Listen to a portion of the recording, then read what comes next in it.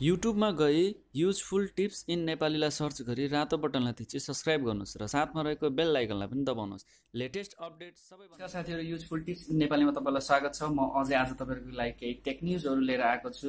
तपाईँलाई यो भिडियो यदि मन पर्यो भनेदेखि कृपया लाइक गर्न नबिर्सनुहोला र तल रहेको रातो बटनलाई थिची च्यानललाई सब्सक्राइब गर्न नबिर्सनुहोला र आफ्नो साथी समक्ष पनि यो भिडियो सेयर गर्न नबिर्सनुहोला सबैभन्दा तपाईँलाई कुरा गरौँ ई सेवा। ई सेवा तपाईँले देख्नु भएको छ दिन प्रतिदिन कति बढ्दै गएको छ त्यसको युजरहरू र कति प्रख्यात हुँदै गइरहेको छ जस्तो खल्ती।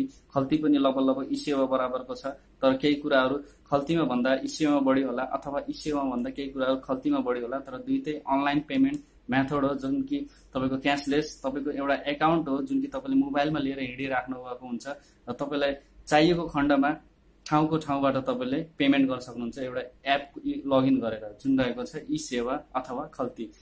ई सेवाले अहिले एउटा अर्को के ल्याएको छ भनेदेखि तपाईँले अब ई सेवाबाट बाँचेको सेकुवा भन्ने रेस्टुरेन्टबाट यदि तपाईँले बसेर त्यहाँ केही खाँदै हुनुहुन्छ अथवा त्यहाँबाट केही चिजहरू किनेर लाँदै हुनुहुन्छ भनेदेखि अब तपाईँले ई सेवा सिम्पली लगइन गर्नुहोस् र ई सेवाको थ्रु तपाईँले जे जति खर्च गर्नुभएको छ त्यहाँ त्यो रकम त्यो रकमलाई ई सेवाको थ्रु पेमेन्ट गर्नुहोस्। तपाईँलाई अब जरुरत छैन पैसा निकालेर त्यहाँ बाजेको सेकुवामा तिर्नलाई बाजेको सेकुवा भन्ने रेस्टुरेन्टमा तिर्नलाई तपाईँले सिम्पली ई सेवा लगइन गरेर तपाईँले तिर्न सक्नुहुन्छ।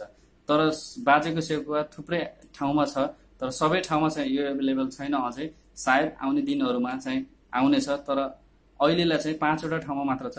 जुन ठाउँ रहेको छ बत्तिस पुतली अनामनगर सोह्रखुट्टे त्यसपछि रहेछ गैरीधारा त्यसपछि रहेको सिनामङ्गल यति पाँचवटा ठाउँमा बसेर बाजेको सेकुवा भन्ने रेस्टुरेन्टबाट तपाईँले केही चिजहरू लिँदै हुनुहुन्छ भनेदेखि तपाईँले पेमेन्ट गर्न सक्नुहुन्छ ई सेवाको थ्रु।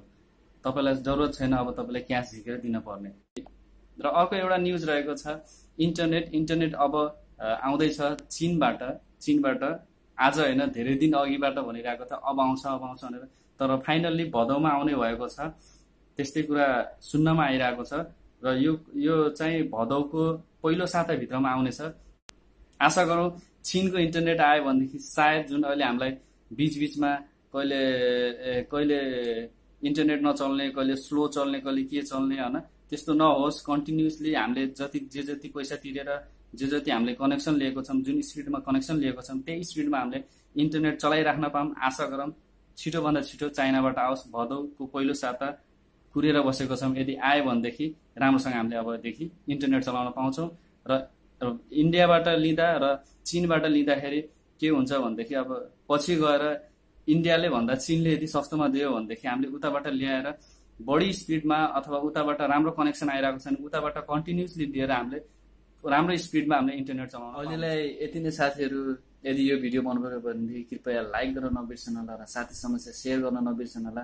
सायद यो भिडियो एकदमै राम्रो बनेको छैन होला। किनकि अहिले जे जति रेकर्ड गर्छु सबै मैले मोबाइलबाट रेकर्ड गर्छु। किनकि मसँग एउटा कुनै डिजिटल क्यामेरा छैन।